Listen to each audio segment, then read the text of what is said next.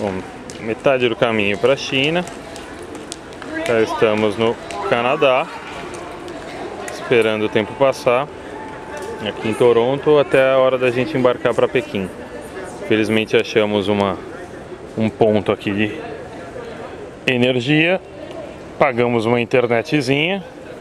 Aqui, coisa barata, tal, 10 dólares, é só para ajudar o tempo a passar nessas quatro horinhas que a gente tem.